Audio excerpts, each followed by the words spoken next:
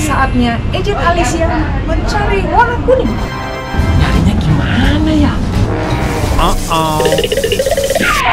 Kok kamu gerak sendiri sih, Tameng? Aha.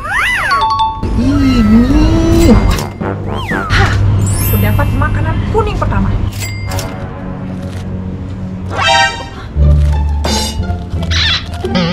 Agent bahkan sembarangan ngambil banyak-banyak. Kok aku diketapel sih sakit tahu? Satu orang tiga makanan. Ngapain ngambil banyak-banyak? BTW, Agent Ali di mana? Emang mereka gak tahu? Aku kan punya ini, gak usah ke minimarket. Lihat nih cara belanjanya.